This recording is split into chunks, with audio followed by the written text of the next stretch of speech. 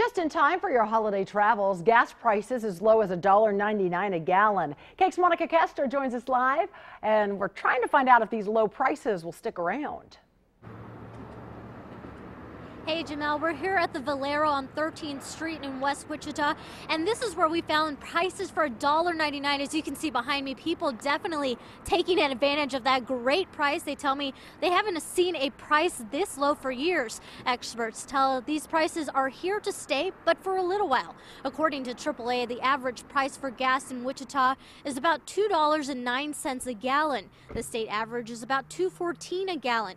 Kansas is now the third state with the lowest average gas price. Oklahoma and Missouri have even lower prices than this. We've seen gas prices fall 20 cents in a week's time. We've had 50 consecutive days now of falling gas prices in Wichita, going back to November 4th when it was $2.90. Liking it a whole lot, making Christmas a little more enjoyable, especially if you got to drive to family out of town.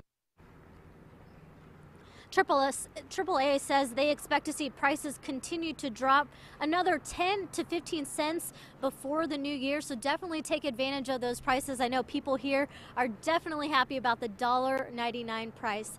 Reporting live in West Wichita, Monica Castro, KAKE News.